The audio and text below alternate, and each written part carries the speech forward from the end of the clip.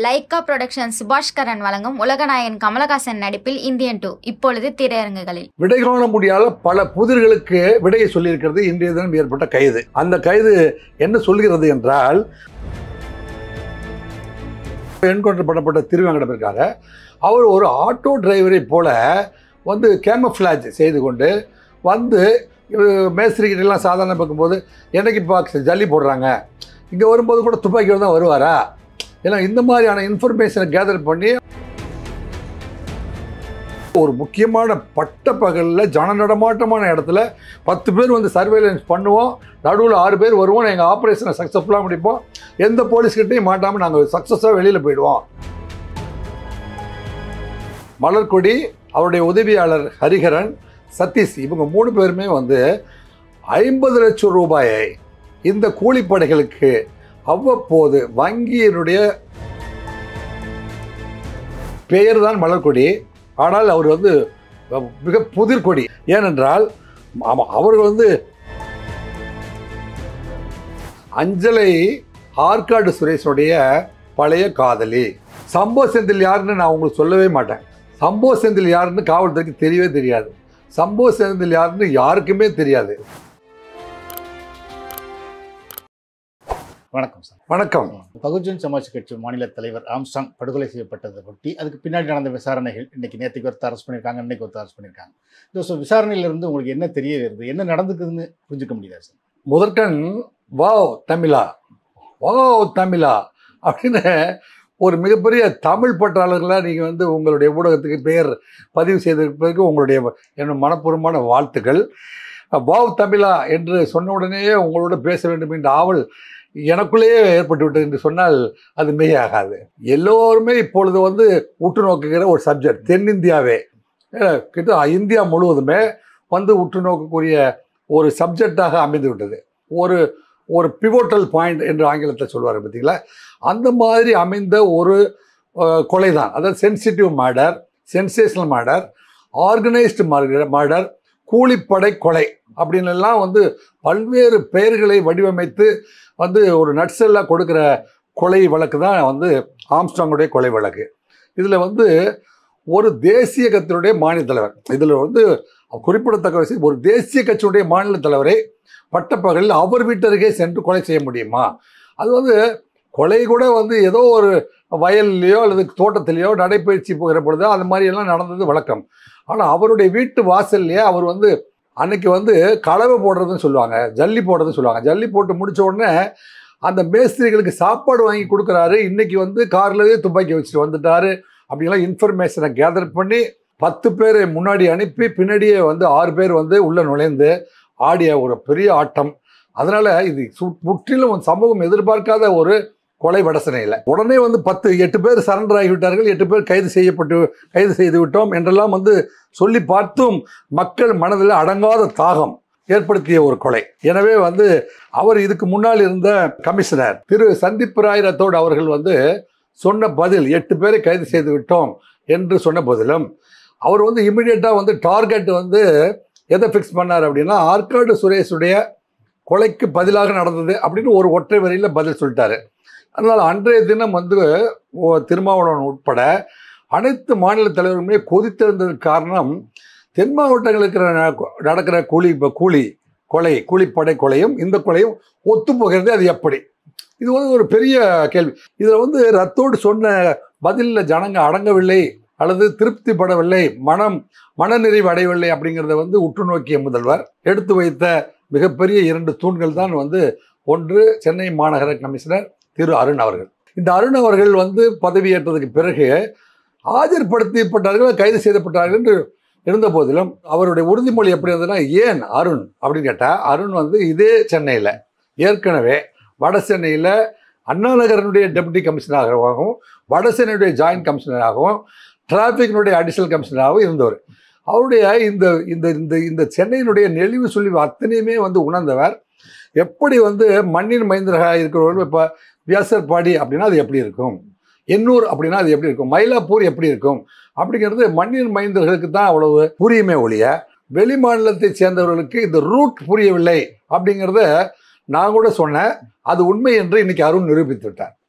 So இந்த விடைகால எதிர்காலத்துக்கு கூட இது என்ன பாடம் என்றால் ஏடிஜிபி லேண்டாடர் மற்றும் இந்த சென்னையினுடைய கமிஷனர் வந்து தமிழர் வாவ் தமிழா என்னங்க? மறுபடியும் உங்கள் தலைப்புக்குள்ளே தான் வருது. வாவ் தமிழா. இப்போ நல்லவரை மாற்றி வல்லவர் ஏன் வர வேண்டும் என்ற கேள்விக்கு கூட அருண் தான் பதில். ஸோ முதல்வர் எடுத்த முடிவுகளில் இது ஒரு ஒரு சரியான முடிவாக கருத கருத வேண்டும் என்பதை முதல்வர் வந்து நிரூபித்து கொண்டே இருக்கிறார். தினமும் வந்து இந்த தகவல்கள் கூட முதல்வர் தினமும் வந்து யார் யாரெல்லாம் கைது செய்தீர்கள் என்ன சொல்கிறார்கள் என்பதை கூட டைம் டு டைம் கேட்டுக்கொண்டிருக்கிறார் என்பது கூட நமக்கு கிடைக்கிற தகவல். அந்த அடிப்படையில் இந்த வழக்கினுடைய விசாரணையில் வந்து கஸ்டடி அக்யூஸ்டை எடுத்து அவர்களுடைய விசாரிக்கிற பொழுது அங்கே வந்து ஒருவன் ஒருவன் வந்து அங்கே ஆம்ஸ்ட்ராங் வந்து இன்றைய தினம் வந்து அந்த இடத்துக்கு வருகிறார். ஒரு வார காலமாக பத்து நாட்களாக அந்த இடத்து நோட்டமிட்டு திருவேங்கடம் என்பவன் அந்த இடத்து நோட்டமிட்டு அவர் வந்து- என்கவுண்டர் பண்ண ஆமாம் இப்போ என்கோ என்கவுண்டர் பண்ணப்பட்ட திருவேங்கடம் இருக்காரு. அவர் ஒரு ஆட்டோ டிரைவரை போல வந்து கேமஃப்ளாஜ் செய்து கொண்டு வந்து மேஸ்திரிக்கிட்டலாம் சாதாரண பார்க்கும்போது என்னைக்கு பாக்ஸ் ஜல்லி போடுறாங்க? இங்கே வரும்போது கூட துப்பாக்கியோடு தான் வருவாரா? ஏன்னா இந்த மாதிரியான இன்ஃபர்மேஷனை கேதர் பண்ணி அந்த டீம் அத்தனை பேருக்கு சொல்லியிருக்கிறாரு.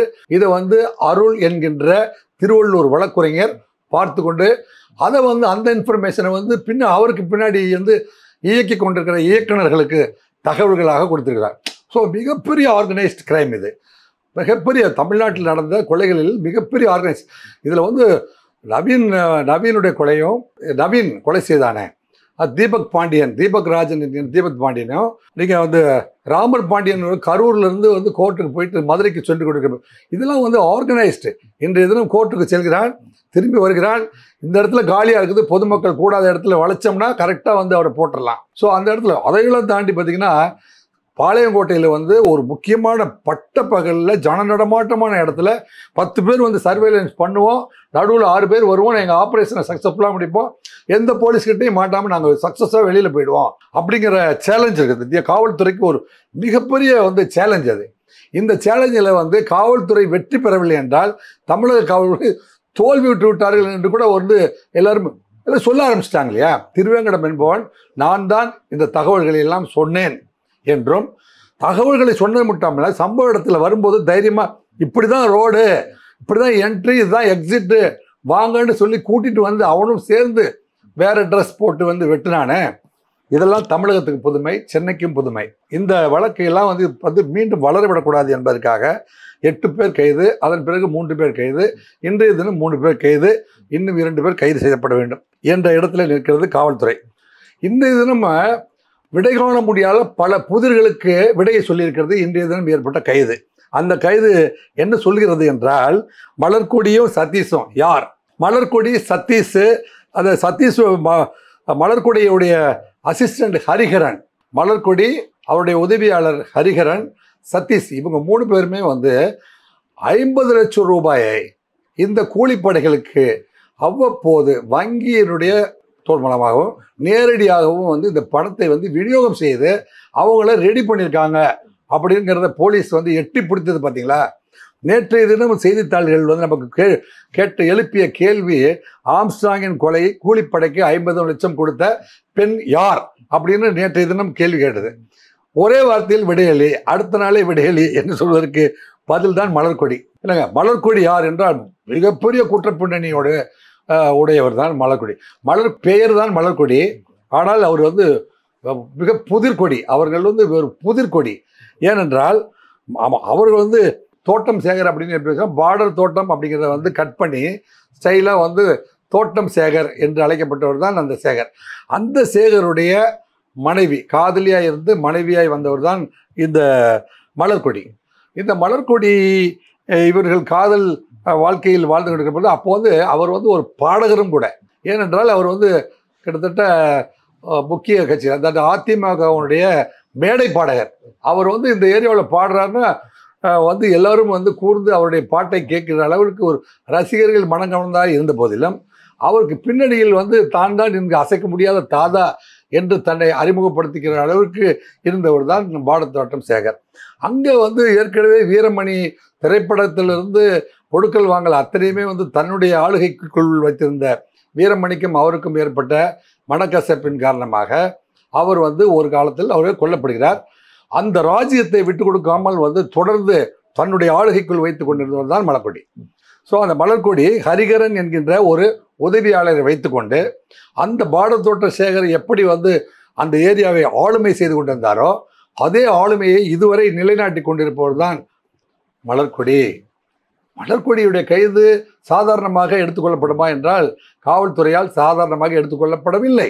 மலர்கொடிக்கும் இதற்கும் என்ன தொடர்பு என்று கேட்போமானால் மலர்கொடி திருவள்ளூரில் இருந்து இதே குற்றத்தில் வந்து சம்பவ இடத்துக்கு பிளான் போட்டு கொடுத்து பணத்தை பெற்று பிரித்து கொடுத்து சம்பவத்துக்கு நேராக வந்து கலந்து கொண்ட அருளுடைய உறவினர். ஸோ அந்த அருள் அருளோட உறவினர் என்ற காரணத்தினாலே அவர் என்ன செய்கிறாரு குமரேசனுடைய மகனான சதீஷ் அவங்களையும் வந்து இணைச்சிக்கிறாங்க. அவங்களாம் உறவுக்காரர்களை? யாரு? புன்னை பாலுடைய மைத்துனர் அருள். அருளுடைய தோழி மலர்கொடி. மலர்கொடியுடைய உறவினர் சதீஷ் மலர்கொடிய உதவியாளர் ஹரிஹரன். ஸோ இவர்கள் எல்லாம் வந்து ஐம்பது லட்சம் ரூபாய். இந்த ஐம்பது லட்சம் ரூபாய் என்பது ஏற்கனவே திருநெல்வேலியிலே வந்து அனௌன்ஸ் பண்ணப்பட்டது. ஐம்பது லட்ச ரூபாயிலிருந்து ஒரு கோடி ரூபாய் வந்து ஒரு உயிருக்கு விலை பேசப்படுகிறது என்கின்ற புதிருக்கு இந்த இந்த இந்த இன்றைய கைது ஒரு விடை கண்டிருக்கிறது என்று சொன்ன சொன்னால் அது மிகையாகாது. அப்படி ஐம்பது லட்சம் ரூபாயை அவர்கள் வந்து விநியோகம் செய்தது மட்டுமல்லாமல் இது இப்பொழுது தேடிக்கொண்டிருக்கிற ஒரு பெண்மணி இருக்கிறாரு அஞ்சலை என்கின்ற புளியந்தோப்பு அஞ்சலை. ஏன் அவர் தலைமறைவானார்? என்பது ஒரு மில்லியன் டாலர் கொஸ்டினாக இருக்கிறது. அஞ்சலை ஆற்காடு சுரேஷனுடைய பழைய காதலி. அதன் பிறகு இறுதியாக அவர்கள் இருவரும் மனம் ஒத்து திருமணம் செய்து கொண்டு த- இவளை வந்து அன்அனௌன்ஸ்டு ஊருக்குள்ளே அனௌன்ஸ் பண்ணாமல் தன் மனைவியாக ஏற்றுக்கொண்டு வாழ்ந்தவள் தான் அஞ்சலை. எனவே ஆற்காடு சுரேஷுடைய மனைவி அஞ்சலையாக இருக்கிற பொழுது தன்னுடைய கணவர் இறந்த அவருடைய பிறந்த நாளுக்குள் அவருக்கு பதிலுக்கு பதில் செய்ய வேண்டிய என்று என்று தன்னுடைய கணவர் பிறந்த நாள் வருவதற்கு முன்பு அவருக்கு காணிக்கையாக அவரை கொலை செய்ய காரணமாக இருந்த சிலரை பலியிட வேண்டும் என்று அவர் மனதுக்குள் ஏற்பட்ட ஒரு பெரும் தீ இருந்தது என்பதை இப்போது வெளிச்சத்துக்கு கொண்டு வந்திருக்கிறார்கள்.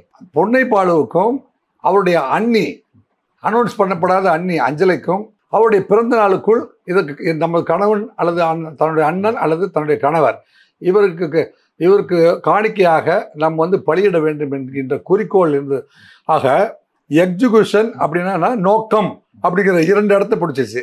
அதுக்கப்புறம் மூன்றாவது இடம் என்னவென்றால் அதுதான் வந்து ஃபினான்ஸ் ஐம்பது லட்சம் இந்த கூட்டத்துக்கு எப்படி வந்துச்சு? யார் கொடுத்தது? இது இதெல்லாம் கையாளுவதற்கான கா கையாளுகின்ற அளவுக்கு யாருக்கு தகுதி இருக்கிறது? இந்த பணத்தை எல்லாம் வந்து ஏழை மக்களுக்கு கொடுக்க சொன்னவர் ஆம்ஸ்டாங். கொடுக்க வேண்டாம் என்று சொன்னவர் ஆற்காடு சுரேஷ். அப்போ இந்த ராஜசேகர் ஹரிஸ் இவர்களோடு தொடர்புடையவர்களாக இருக்கிறார்களே அந்த ராஜசேகர் ஹரிஸ் மூலமாக இந்த பணம் மலர்கொடியிடம் கொடுக்கப்பட்டு அஞ்சலை வழியாக அனைவருக்கும் செலுத்தப்பட்டதா என்பதுதான் இப்போது நீரோட்டமாக இருக்கு. இந்த வழக்கினுடைய நீரோட்டம் தற்போதைய நீரோட்டம். சரி கொலை செய்தவர்கள் இந்த எட்டு பேருமே வந்து இங்கே இருந்து திருவள்ளூர்லேருந்து திருநின்றவூர்லேருந்து வடசென்னையிலேருந்து பொறுக்கி எடுக்கப்பட்டவர்களாக இருக்கிறார்களே இந்த கொலை செய்கிற மெத்தட் ஆஃப் ஆப்ரேஷன் இப்போ இப்போ வந்து இப்போ ஏர் செல் அப்படின்னு இருக்கு. இப்போ பல்வேறு செல் இருக்குது பார்த்தீங்களா பிஎஸ்என்எல் செல் இருக்குது ஜியோ செல் இருக்குது. ஒவ்வொன்றும் ஒரு மெத்தடில் இயங்கும். அதுக்கு பேர் தான் மெத்தடாலஜி அல்லது அல்லது இதுக்கு பேர் மெத்தடாலஜி அல்லது மோடஸ் ஆப்ராண்டி மோடஸ் ஆப்ராண்டி என்பது பிரத்யேகமாக காவல்துறையால் பயன்படுத்தப்படுகிற ஒரு வார்த்தை. ஆனால் இதை ஏ பிளஸ் ரவடிகளும் பயன்படுத்தி கொண்டிருக்கிறார்கள் என்பது எங்களுக்கு மட்டும் புரிந்த லாங்குவேஜ் அந்த லாங்குவேஜில் பார்ப்போம் என்றால் அங்கு ராமர் பாண்டியரும் இவர்- இவர்கள் நடந்த கொலைக்கும் இந்த கொலைக்கும் ஒரு சிமிலாரிட்டி இருக்கிறது என்றுதான் நம்ம வந்து மக்களுக்கு சந்தேகம். இந்த சிமிலாரிட்டி தென் மாவட்ட கலப்பு இல்லாமல் நடக்காதே அப்படின்னா அங்கே தான் வந்து நவீன் வந்து ஒரு மிகப்பெரிய விடையாக நிற்கிறான். நவீன் ஆற்காடு சுரேஷ் கொலை செய்யப்பட்ட போது பட்டினப்பாக்கத்துக்கு வந்திருக்கிறான். அங்கே தீபக் பாண்டியன் கொலை செய்யும் போது திருநெல்வேலிக்கும் போய்க்கிறான். ஆற்காடு சுரேஷ் குடும்பத்திற்கும் தொடர்பில் இருந்தவன். என்னங்க அவன் வந்து திருச்சியில் இருக்கிற துரை கூடவும் தொடர்பில் இருந்திருக்கிறான். அவன் தூத்துக்குடியில் இருக்கிற ஜேக்கப் கூடவும் தொடர்பில் இருக்கிறான் அப்போ ஒரு நீரோட்டம் இங்கிருந்து அதுவரை சென்று வருவதை மக்கள் உற்று நோக்கிறார்கள். அதைத்தான் காவல்துறையும் நோக்கினார்கள். அண்ணனும் நோக்கினார் அவளும் நோக்கினார் என்று சொல்வார்களே. அதுபோல மக்கள் நோக்கிய பார்வையில் காவல்துறையும் நோக்கியது. அங்குதான் வந்து கிடைத்த ஒரு விடை சம்போ சேகர். சம்போ செந்தில். அங்கு பொதுமக்களுக்கும் காவல்துறைக்கும் கேட்ட ஒட்டுமொத்தமான விடை சம்போ செந்தில் என்கின்ற தமிழ்நாட்டிலே இருக்கிற முக்கிய விவிஐபி அந்த கூட்டத்துக்கு விவிஐபி இருக்காங்க பார்த்தீங்களா அவர் சொன்னால் இந்த நாட்டில் இருக்கிற இந்த ஏ பிளஸ் ரவுடிகள் அத்தனை பேரும் சொன்னதை கேட்பார்கள். அப்பேற்பட்ட ஒரு அசைக்க முடியாத நிழல் உலக தாதாவாக இருந்த சம்போ செந்திலை நோக்கி தற்போது காவல்துறை நகர்ந்து விட்டது. இந்த சம்போ செந்தில் யாரு சார்? சம்போ செந்தில் யாருன்னு நான் உங்களுக்கு சொல்லவே மாட்டேன். சம்போ செந்தில் யாருன்னு காவல்துறைக்கு தெரியவே தெரியாது. சம்போ செந்தில் யாருன்னு யாருக்குமே தெரியாது. அவர் வந்து பல சம்பவங்களை திறம்பட திறம்பட நிழல் உலகத்தில் அவர் யார் எங்கே இருக்கிறார் என்றே தெரியாது. அப்படி தமிழ்நாட்டில் நான்கு பேர் இருக்கிறார்கள். அந்த நான்கு பேற்றில் யார்? இந்த நான்கில் ஒரு விரல தொடுங்க இந்த அஞ்சில் ஒரு விரல தொடுங்கன்னு நம்ம நீண்ட நாட்கள் கேட்டு இருந்தோமே அதில் ஒரு விரலை தொட்டிருக்கிறார்கள். சம்போ சங்கர். அப்போ சம்போ சங்கருக்கும் இந்த ஆம்ஸ்டாங்க்கு என்ன சம்பந்தம்? சம்பந்தமே இல்லாமல் தூத்துக்குடியிலிருந்து ஒருத்தர் கமாண்ட் கொடுக்க முடியுமா? கொடுக்க வேண்டிய அவசியம் என்ன? அப்படின்னா எல்லாருக்கும் அடிப்படை வந்து மனித உடலுக்கு எப்படி இரத்தம் தேவைப்படுகிறதோ அங்கு ஒரு பணம் தேவைப்படுகிறது பணப்பரிமாற்றம். பணப்பரிமாற்றம் பரிமுறைப்பட்டம் வருகிற பொழுது அப்ப இது கைது செய்யப்பட்ட பதினாறு பேருக்கு பதினாறு பேருக்கு பிறகு சம்பவ சந்தில் வருவாரானால் எந்த பணம் எந்த கொடுக்கல் வாங்கல் இந்த பரிமாற்றத்திற்கு ஆணிவேராக இருந்தது என்பதற்கு கூடிய விரைவில் திரு அருண் அவர்கள் பதில் சொல்வார். இசி கே திருமாவளவன் உட்பட ராமதாஸ் அன்புமணி ராமதாஸ் உட்பட எல்லாருமே சொல்லி இல்ல இந்த மொழி பின்னாடி வேற ஏதோ ஒரு குற்ற உண்மையான குற்றவாளிகள் இருக்காங்க. So, இந்த விசாரணையில இருந்து இதுக்கு என்ன நோக்கம்? வெறும் பழிவாங்கிறது மட்டும்தானா? இல்ல இதுக்கு பின்னாடி வேற நோக்கங்கள் இருக்கா? அப்படிங்கிறது. இதுக்கு இரண்டு விதமான காரணங்கள். ஒன்று வந்து ஆற்காடு சுரேஷ் வந்து சின்ன காரணம். நீ இந்த தே இந்த ஏரியாவோட வட சென்னையில் நீயா நானா? யார் பவராக இருக்கிறது? அப்படிங்கிறது ஒரு சாதாரண காரணம். இப்போ கூட வந்து சில வழக்குரைஞர்கள் ஆம்ஸ்டாங் வந்து ஒரு பெரிய இமயம். அவர் ஆம்ஸ்டாங் வெர்சஸ் ஆற்காடு சுரேஷுங்கிறது எங்களால் மனதளவில் ஏற்றுக்கொள்ள முடியவில்லை என்று சொல்கிறார்கள். ஆம்ஸ்டாங்குடைய உயரமும் ஆற்காடு சுரேஷுடைய உயரமும் it is it is it is it cannot be easily comparable அப்படின்னு சொல்கிறாங்க அப்போ இந்த சந்தர்ப்பத்தை பயன்படுத்தி கொண்ட அந்த திரைமறைவு எதிரி யார் என்பதுதான் எதிர்காலத்துடைய கேள்வி. இந்த கேள்விக்கு காவல்துறை மிக நுட்பமான ரகசிய விசாரணையில் இருக்கிற காரணத்தினால் எனக்கு சில செய்திகள் தெரிந்திருந்த போதிலும் ஊடகத்தில் சொன்னால் அது ஊடக தர்மத்திற்கு சரியாக இருக்காது என்கிறனால் இது ஓரிரு நாட்களிலே உங்களுக்கு தெரிய வரும். கண்டிப்பாக தெரிய வரும். அதை நோக்கி காவல்துறை நெருங்கிவிட்டது என்று மட்டும் என்னால் உறுதியாக சொல்ல முடியும். காவல்துறையை பொறுத்தவரை இதில் வந்து கஸ்டடி எடுத்த எதிரிகள் அத்தனை பேரையுமே வந்து தனியான ஒரு ரகசிய இடத்துல வைத்து பத்து டீம் வந்து பிரத்யோகமாக ஏற்பாடு செய்து அந்த டீமில் இருக்கிறவர்கள் ஒவ்வொருவரும் வந்து பிரத்யோகமாக விசாரித்து அவர்களை வந்து ஸ்டேட்மெண்ட் எடுக்கிற அதனால வந்து இப்போ வந்து கிட்டத்தட்ட வந்து அந்த சிமிலாரிட்டி என்கின்ற இடத்தை வந்து எப்படி இந்த சிமிலாரிட்டி வந்தது என்றால் அங்கே வந்து கிட்டத்தட்ட நவீனுக்கும் ஜேக்கப்புக்கும் சம்போ சாகருக்கும் உள்ள தொடர்பை வந்து அவர்கள் கண்டுபிடி இப்படி ஒரு ரூட் இருக்கிறது என்பதை கண்டுபிடித்திருக்கிறார்கள். ஏற்கனவே ஒரு விசாரணை நடந்துகிட்டு இருக்கு. இப்போ கமிஷனர் அருண் வந்த பிறகு விசாரணையோட போக்கு மாறுது வந்து. ஸோ விசாரணை அருணோட எந்த விதமான ஒரு ஸ்டைல் வந்து இந்த விசாரணை இந்த அளவுக்கு முன்னேறதுக்கு காரணம்னு நினைக்கிறீங்க? இல்லை ஒரு தனிமனித வாழ்க்கையில் வெற்றி என்பது தான் நூறு சதவீதம் இன்வால்மெண்ட் ஹண்ட்ரட் பர்சன்ட் இன்வால்மெண்ட் நான் திரு அருண் அவர்களிடம் பல இரண்டு முறை நான் வேலை பார்த்திருக்கிறேன். அவரிடம் ஒரு ஃபைல் அனுப்ப வேண்டும் என்றால் அதை பத்து முறை படித்ததுக்கு பிறகு தான் அனுப்ப வேண்டும். அதில் கமா இல்லை புள்ளி இல்லை என்றால் கூட வந்து பார்த்து நீங்கள் என்ன படித்திருக்கிறீர்கள்? ஏன் இப்படியெல்லாம் எழுதுகிறீர்கள்? என்று கேட்கக்கூடிய அளவிற்கு நுட்பமாக வழக்குகளை கையாளுகிறவர் திரு அருண் என்று சொன்னால் அது மிகையாகாது. வழக்கு இதில் என்ன குறைபாடு என்றால் இந்த டொபாகிராஃபி ஆஃப் த சிட்டி என்னங்க?